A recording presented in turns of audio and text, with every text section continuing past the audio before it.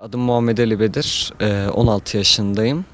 Lise 3 öğrencisiyim. Ee, Kayakta atlamaya e, 9 yıl önce başladım.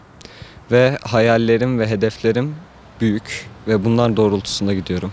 Kayakta atlamanın e, belki diğer arkadaşlar kızabilir ama diğer sporları neredeyse diğer e, halk da yapabilir ama kayakta atlama için özel bir eğitimden geçmeniz gerekiyor. Çünkü tamamen havada uçuyorsun, uçuyorsunuz bir kuş misali. Bu da sizi tabii ki tamamen e, özgür kılıyor. EOF derecesinde bir tane yarışta yarıştım. O da Gençlik Olimpiyatı. E, Norveç'teydi. O yarışta tabii ilk büyük yarışımdı. E, diğer yarışlarda ise tabii ki onların ülkesinde, onların e, taraftarı önünde kupa kaldırmak her zaman bizim üstünlüğümüzü gösteriyordu.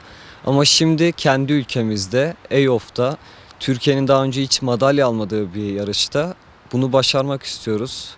Şu an hafif bir ağırlık var, hafif de gurur var. Ama tabii ki gurur ağırlığın üstüne çıkıyor.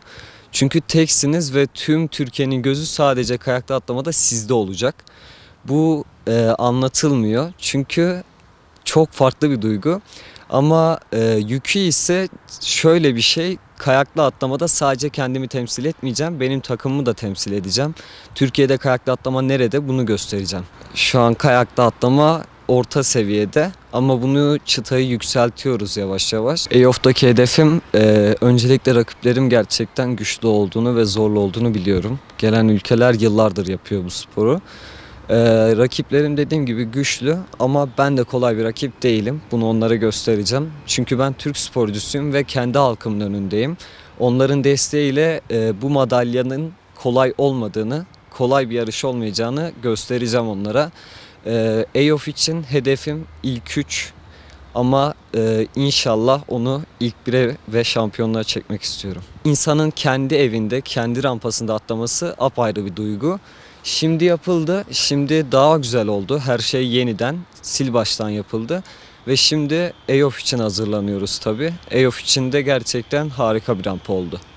EOF'un Erzurum'da yapılması Dadaşlar şehrinin tanıtılması demek. Dadaşlar şehri de gerçekten Türkiye'nin özel şehirlerinden biri.